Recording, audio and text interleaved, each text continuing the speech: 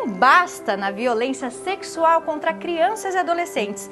Esse é o objetivo deste gibi, que foi confeccionado por uma equipe que envolve várias secretarias da prefeitura. O trabalho de conscientização nas escolas já existe, mas esse reforço lúdico vai ajudar as crianças a detectarem as situações desagradáveis e a saberem como devem agir.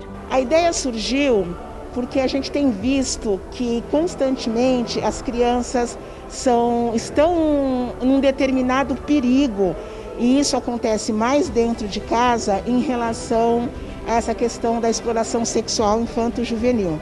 Então, pensando nisso, e para que isso não fique somente conosco que participamos ativamente disso, a gente acha que a sociedade o município inteiro precisa estar atenta a essas questões. A história se baseia em dois personagens, um casal de irmãos, que passam a sofrer abusos quando o padrasto passa a morar na casa com eles.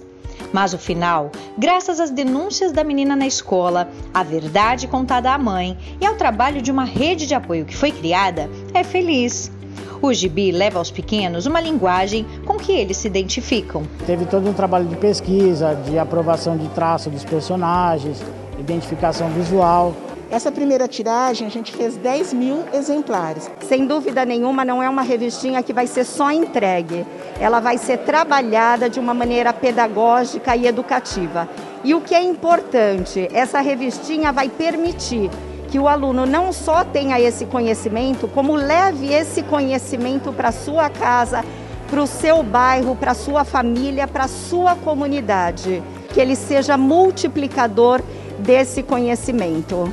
Um tema difícil, um tema que ainda a gente enfrenta muitas barreiras para que as crianças possam falar sobre o assunto.